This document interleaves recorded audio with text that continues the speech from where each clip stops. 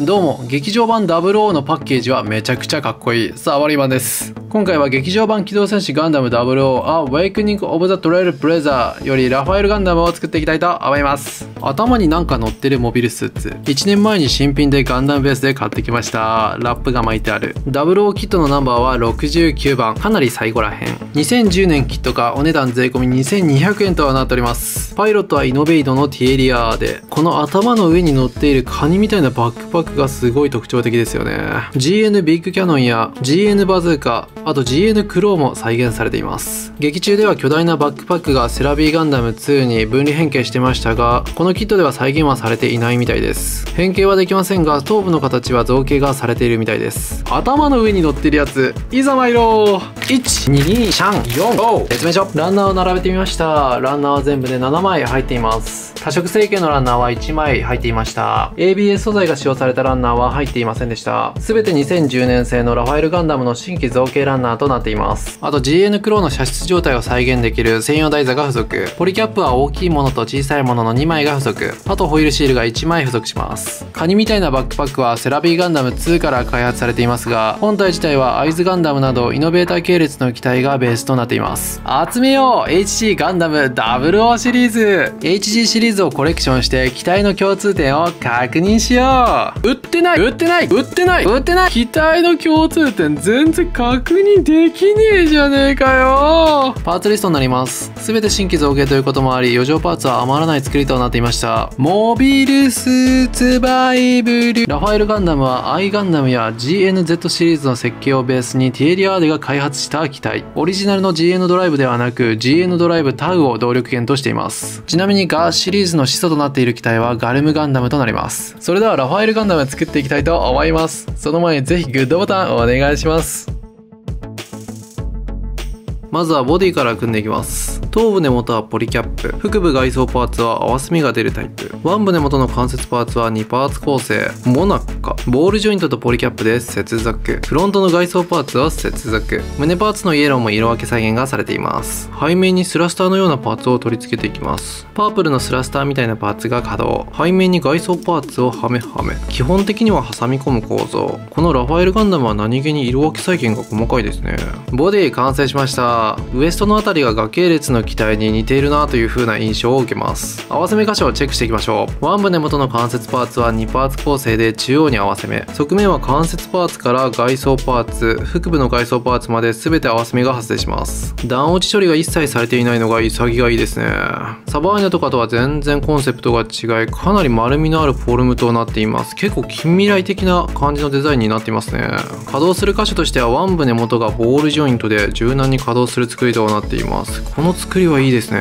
頭部根元のポリキャップは前後に若干稼働。続いて頭部を作っていきます。フェイスパーツはワンパーツでツインアイも顎パーツも一緒になっています。隠れた赤い顎パーツのみ別パーツ化されています。ツインアイはホイルシールでの補填が用意されています。試しにツインアイのシールを貼ってみました。こんな感じ。意外と悪くない。頭部外装は縦割りのパーツ構成。後ろ側に合わせ目。上側の合わせ目はパーツで隠れます。ブレードアンテナ中央のセンサーパーツはクリアパーツで再現されています。対象年齢は8歳以上ということもあり安全フラッグがくっついてます。顎周りが特徴的な頭部が完成しました。作画に比べたらブレードアンテナが若干やぼったいかなという感じになってます。もう少し削り出してスマートにしたらかっこよさそうですね。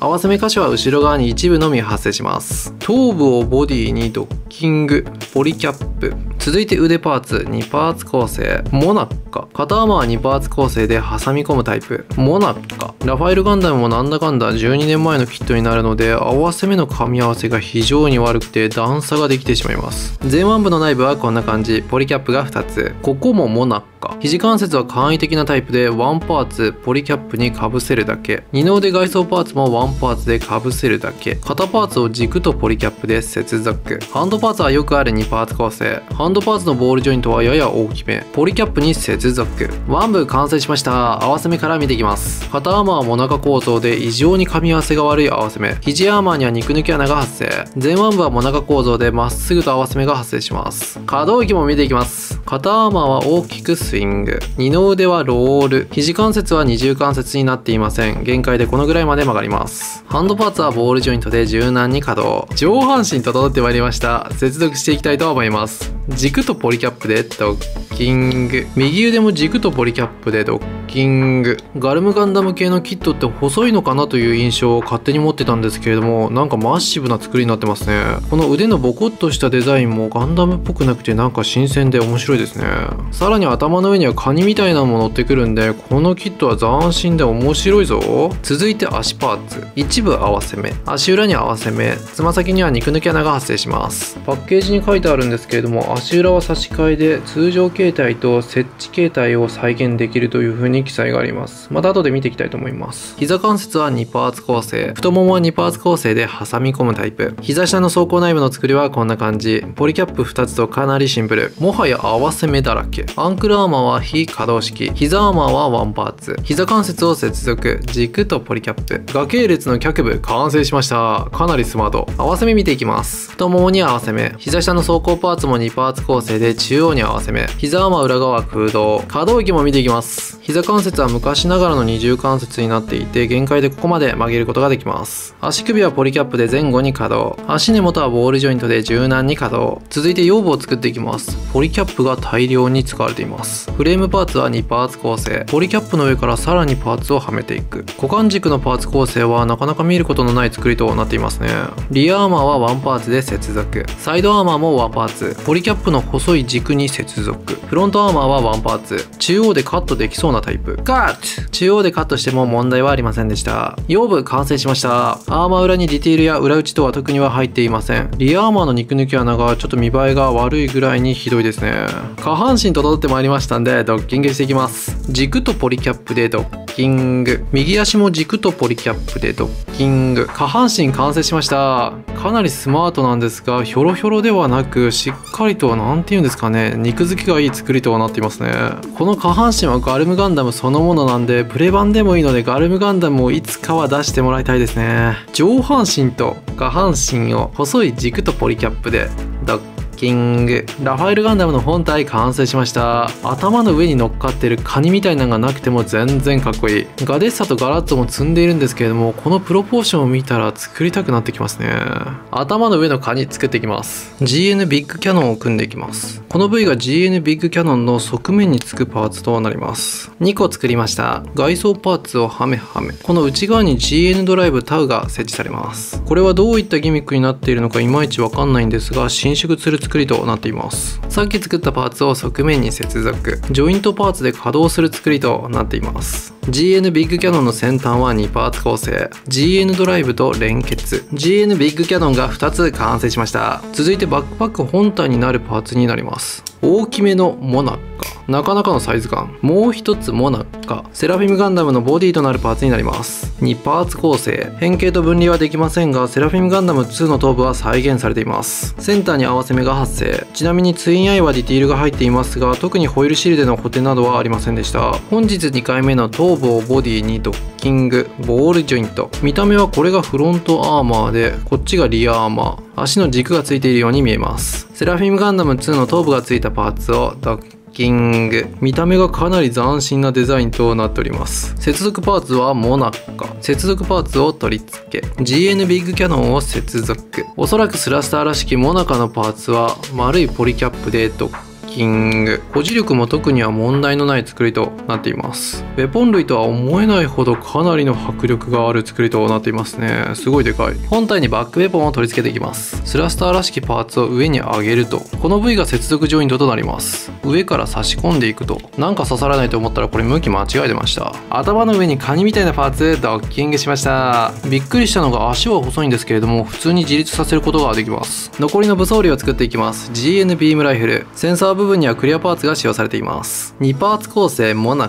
カ最後に GN クローを作っていきます。この爪パーツを全部で8個作っていきます。作り終えたのがこちら。爪8個出来上がりました。くっつけていきます。爪を引っ掛ける。爪を引っ掛ける。爪を引っ掛けると。爪を閉じていく。閉じる。爪と爪をドッキング。爪の裏側肉抜き穴が発生。クローパーツが2つ完成しました。GN クローを再現するには GN ビッグキャノンの先端を外すと。これが稼働しない GN クローになります。ます稼働する GN クローに差し替えていくと。GN クローを飛ばして展開する際は GN ドライブの位置も変更します。この外装パーツも開いていくと。この状態にすることで GN クローを展開してディスプレイすることができます。ディスプレイする専用台座も付属 GN ビッグキャノンは専用の台座でディスプレイしてみました。台座を用意しなくてもラファエルガンダムだけ買うことでこれが再現できるのは嬉しいですね。保持力も問題ありませんし軸接続になっているので方向も自由に変えることができます。めちゃくちゃかっこいいよ。後ろから見たらこんな感じ。劇場版00のキットは傑作尽くしですね。めちゃくちゃ面白い。GN クロは展開状態でもこのように本体に取り付けることができます。もしくは専用ディスプレイのパーツを使用して少し延長した状態でディスプレイすることもできます。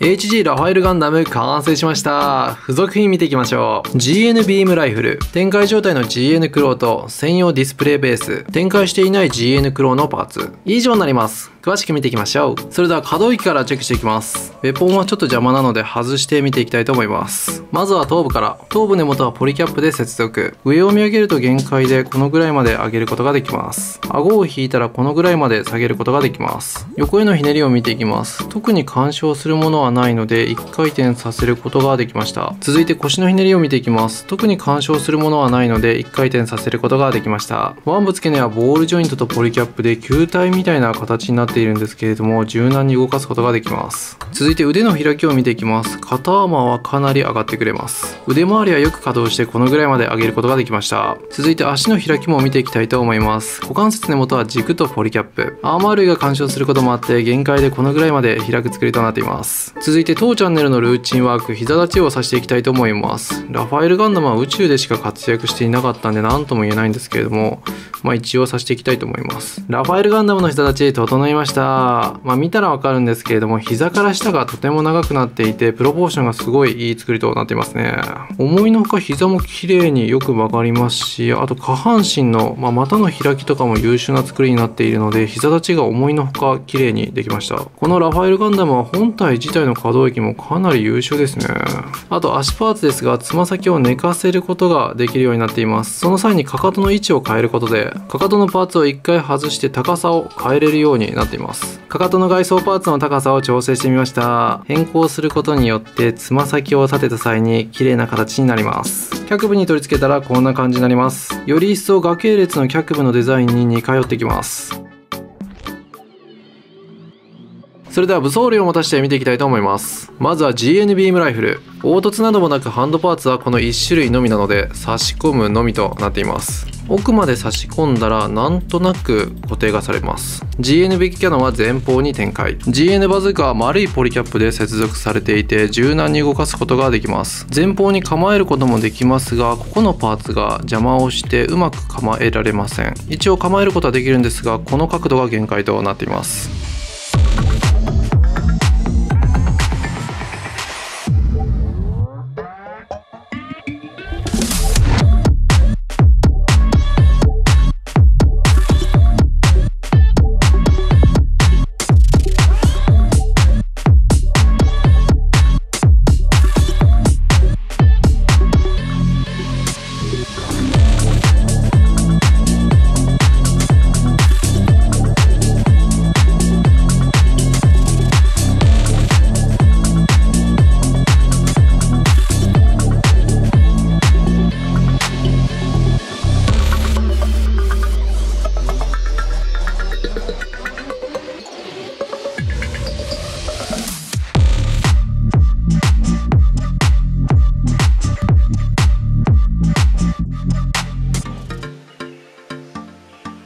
続きましてシール補填箇所と塗り分け箇所をチェックしていきます。シンプルなカラーリングで素組みでも十分にかっこよく組み上がりますが外装パーツにブラックのパーツはないので差し色のブラックやグレーは全てシールの補填に頼る形になります。素組みの状態だと本体は白色一色で少し引き締まりがないかなという印象でした。00シリーズ特有の GN ドライブや GN バーニアも色分けがされていないので成型色を活かしながら部分塗装して仕上げるだけでも見栄えが良くなりそうですね。